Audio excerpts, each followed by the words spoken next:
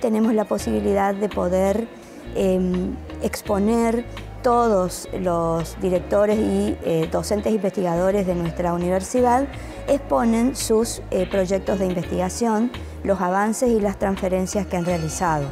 Por ello es muy importante también eh, la exposición de ellos hoy porque son los grupos de investigación que tiene nuestra universidad. Entonces, de ahí la importancia que tiene y por lo que estoy viendo, ya están hay mucha gente. Y lo más importante es que este año hemos agregado invitar a, los quintos años y sextos años de las escuelas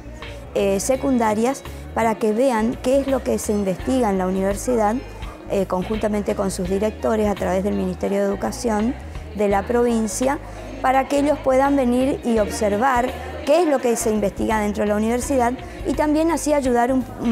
poco eh, a través de la Secretaría General de Ciencia y Técnica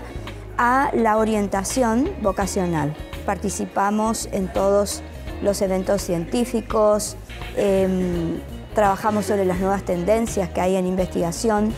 estamos eh, trabajando sobre líneas estratégicas o prioritarias para la universidad, como es el Iberae e, Impenetrable,